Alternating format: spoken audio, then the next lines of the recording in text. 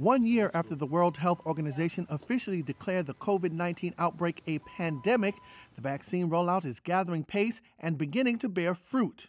But one of the lingering questions about the vaccine deployment can vaccine developers pump out enough vials to keep up with demand?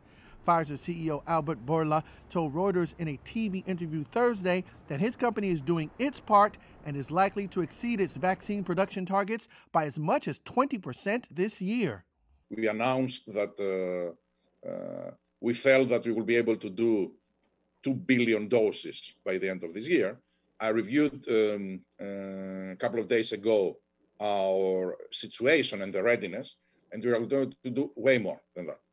Uh, we will uh, exceed clearly this year the 2 billion doses, and our steady state, which will let's say, full on an annual basis on a two year, we will be able to make 3 billion doses.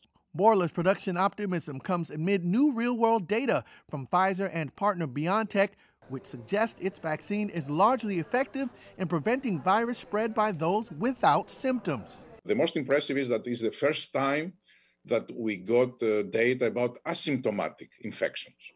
And uh, the data reveals so far 94% effectiveness against asymptomatic infections. This is very, very important for society not for the individuals because they don't have any symptoms, but they are the ones that clearly um, uh, replicate the virus into society because they don't know that they have it and they don't take the measures of isolation that those that they have it take and they of course they spread the virus. The data show Pfizer's current vaccine is effective on the original COVID-19 strain and on the emerging and highly contagious UK variant.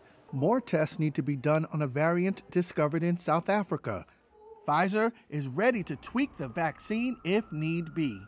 If we discover that this one, after some tests, create concerns and we need to go ahead and produce a new vaccine, we will be able to produce it within 100 days.